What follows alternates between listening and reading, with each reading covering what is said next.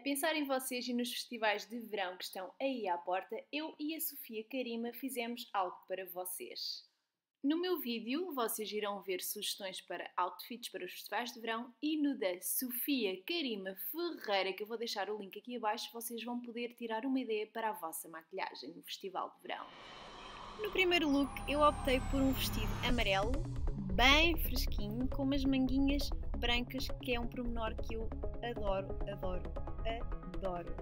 Depois, para ficar assim bem mais hippie, eu coloquei um colete de ganga e uns óculos de sol e acho que o look ficou muito mais giro.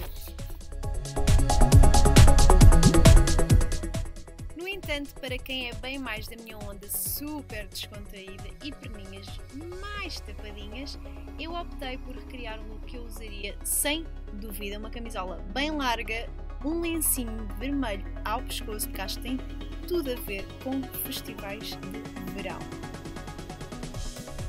Este look é muito mais a minha onda e espero que tenham gostado.